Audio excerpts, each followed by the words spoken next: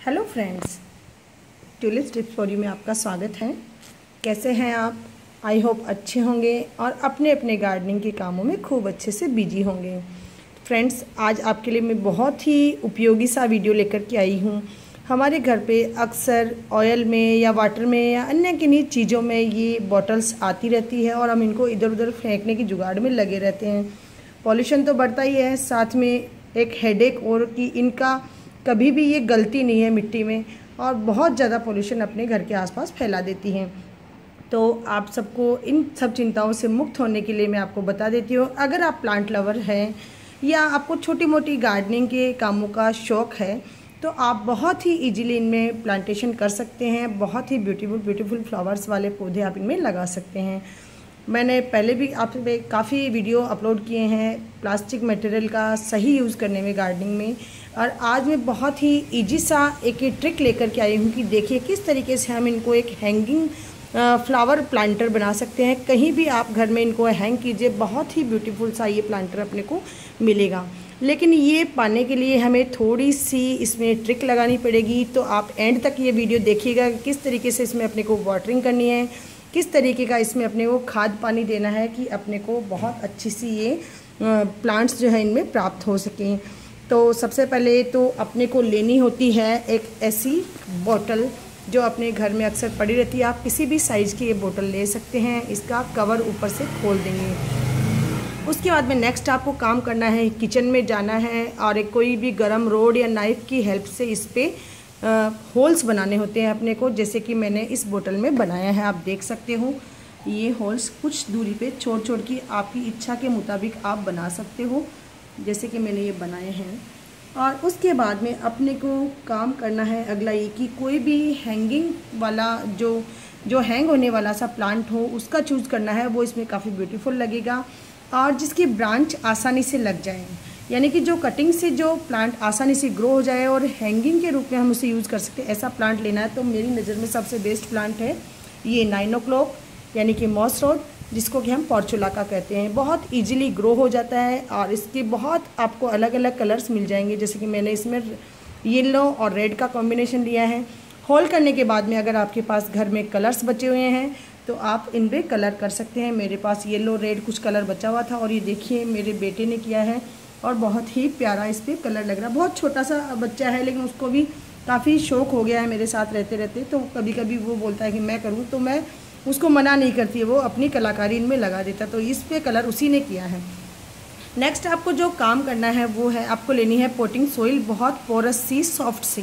तो उसमें आप लेंगे 40 परसेंट गार्डन सोइल 30 परसेंट उसमें लेंगे आप सैंड, और 30 परसेंट आप कोई भी उसमें अच्छी सी खाद मैंने इसमें गोबर की खाद ली है डिकम्पोज हुई हुई आपको कोई भी खाद लेनी नहीं है, वर्मी कंपोस्ट या कंपोस्ट या गोबर की खाद, अच्छे से आपको उसको मिक्स करना है ड्राई फ्रीज में उसको रखना है और इसके अंदर कीप की हेल्प से बढ़ना है, लेकिन उससे पहले आपको लगानी है इसमें कटिंग्स आपके पास जैसी भी कटिंग्स हो, वो आप लीजिए और इनमें इतनी इतनी आप इनको अंदर की तरफ़ दबा दीजिए।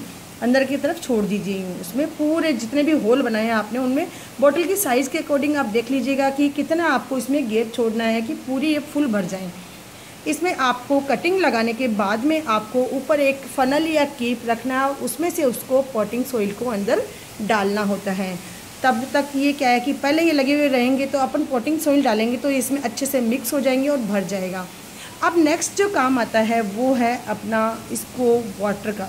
इसमें पानी कैसे दें? तो इसके लिए बहुत ही टेंशन वाला काम है कि अगर हम यहाँ से पानी देंगे तो ये थोड़ा सा यहाँ आके इन होल्स में से निकल जाएगा।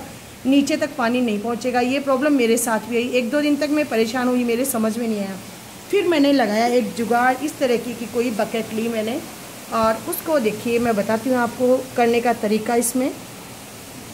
ये बकेट मैंने रख दी यूँ बकेट को भर दिया पानी से। अभी मैं पानी नहीं लगाऊँगी इनमें क्योंकि मेरे फ्लावर्स खिले हुए हैं। ये काम आपको शाम को करना है या मॉर्निंग में, जब इसमें फ्लावर्स निकले हुए हो। इसको पानी से भरने के बाद में आप इस बोतल को इसमें यूँ रख देंगे। तो इन होल्स की हेल्प से इनमें पूरे में पानी अच्छे से लग जाएगा। 10 मिनट तक आपको इसमें इसको छोड़ना है। उसके बाद में आपको अपनी बोतल को इसमें से निकाल लेना है। ये काम आपको गर्मी के अकॉर्डिंग देख लेना है कि अगर आपने बहुत तेज़ धूप में रख रखा है, बहुत तेज़ गर्मी है तो आप इसमें डेली वाटरिंग इस तरीके से पानी भरेंगे और इसमें रख देंगे। शाम को या सुबह को। दोपहर में ये नहीं करेंगे क्योंकि दोपहर में इसका ब्लूमिंग का टाइम होता है तो अपने फ्लावर्स ख़राब हो जाते हैं।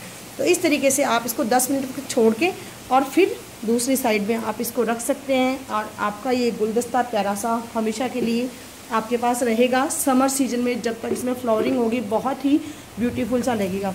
उसके बाद में भी आप इसको यूज़ कर सकते हो क्योंकि समर सीज़न ही इसका मेन सीज़न होता है। उसके बाद में इसको ठंड कम पसंद है तो आप इसको जहाँ गर्म एरिया हो, वहाँ रखें। हल्की हल्की इसमें से पत्तियाँ रहेगी और नेक्स्ट सीज़न में आप इसको फिर से ग्रो कर सकते हो। तो फ्रेंड्स कैसा लगा आपको आइडिया ये? और आप इसको हैंग कर सकते हो। किसी फ्री जगह पे आपको हैंग करना है और ये आराम से आपके गेट के पास में रूम की खिड़की के पास में बहुत ही प्यारी लगेगी। अगर आप लाइन से इनको जमाएँगे तो बहुत प्यारा सा फ्लावर पॉट बन करके आपका तैयार हो जाएगा। तो फ्रेंड्स कैसा लगा आपको ये बॉटल प्लांटर अगर अच्छा लगा हो तो लाइक कीजिएगा कमेंट कीजिएगा शेयर कीजिएगा और मेरे चैनल को सब्सक्राइब कीजिएगा। Thank you for watching friends आपको एक बात मैं बताना भूल गई कि जो ये अपने मॉसरोज है, ये धूप का ही प्लांट है, इसलिए आपको ज़्यादा से ज़्यादा इसको धूप में रखना है। अगर आपको उसको शेडी प्लेस में रखोगे तो इसमें फ्लावरिंग कम होगी। नेक्स्ट जो बात थी वो ये है कि इसमें हम खाद पानी सिर्फ़ एक बार ही दे सकते हैं ड्राई उसके बाद में अगर आपको लगता है कि फ्लावरिंग कम हो रही है या इसमें पोटिंग सोइल हमने अच्छा नहीं डाला है, इसमें खाद की ज़रूरत है तो आप इसको लिक्विड फॉर्म में खाद ऊपर से दे सकते हैं या फिर बकेट में आप गोबर की जो खाद होती है लिक्विड फ़ेज़ में वो इसमें डालिए, पानी से भरिए और इसको 10 मिनट तक छोड़ दीजिए। आराम से इसमें खाद लग जाएगी। तो फ्रेंड्स, यही थी इस प्लांट को, इस प्लांटर को सुंदर बनाने की टेक्निक अगर आपको अच्छा लगता है तो इसको ज़रूर प्रयोग कीजिएगा। Thank you for watching